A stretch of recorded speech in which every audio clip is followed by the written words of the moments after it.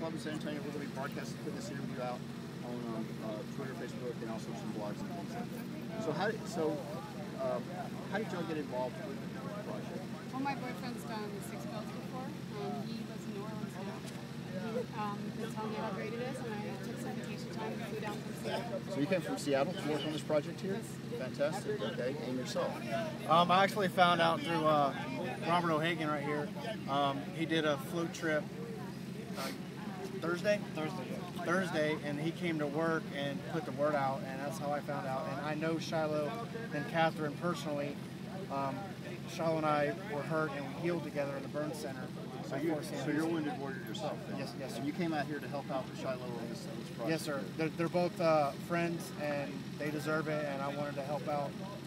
How's it, how's it felt working on this house? Oh, it feels great. They, they deserve it. I like to give back, especially to other wounded soldiers. And that's what I'm doing right now as a job, giving back to those who helped me. Awesome. So what did you do inside the house? Any particular projects Um. I'm working in uh, the Toy Story room, helping build the village and the train. Oh, cool. Fantastic. And yourself? I'm, I'm working on the same project with uh, with Mike and uh, her boyfriend Les. And uh, originally I got involved. Uh, my wife looked on it online. She looked at all the details, and I didn't couldn't squeeze it into my work schedule because I work with the Wounded Warriors full time. But we got tasked to go and do stuff down at the parade. But they surprised us, and rather than just tasking us to do duties, they put us on the floats and ran us through the, the Christmas parade.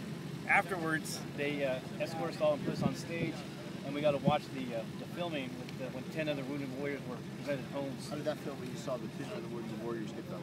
Oh, it's, it's fantastic because several of them were actually warriors that went through our uh, battalion and uh, went through our program with Watch Hill and, and Transition. So it was, it was nice to see these guys get custom homes that are fitted for their wounds, for their injuries to help them. So that's a key point to these homes. They're actually not only are they just designed and built, they're built for the particular warriors for the needs in case something happens. Yeah, exactly. Like uh, a lot of the uh, uh, soldiers that have had major boon, uh, burn wounds, they need uh, temperature control. They have to have cooler homes. They also, uh, because the wounds aren't just, you know, we see the burns on the external side, but they also have internal wounds, lung and uh, nasal wounds. So they need special filtration systems so they have air that's a more friendly, more adapted to their body.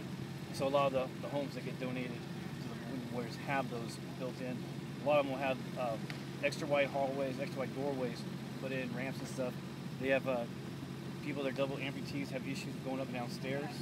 So they'll get them, they might own, own a home, but they own a two-story home because that's what they had before they went to war. Right. And what they'll do is they'll get them into a, a larger single-story home that's more friendly so they could be uh, more productive in the home.